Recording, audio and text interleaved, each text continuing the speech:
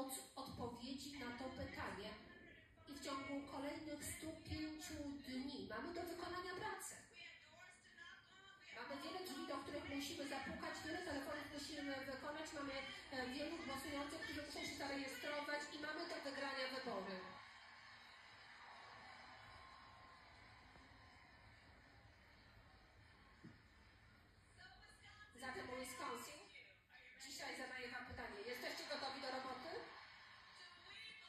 Czy wierzymy w wolność?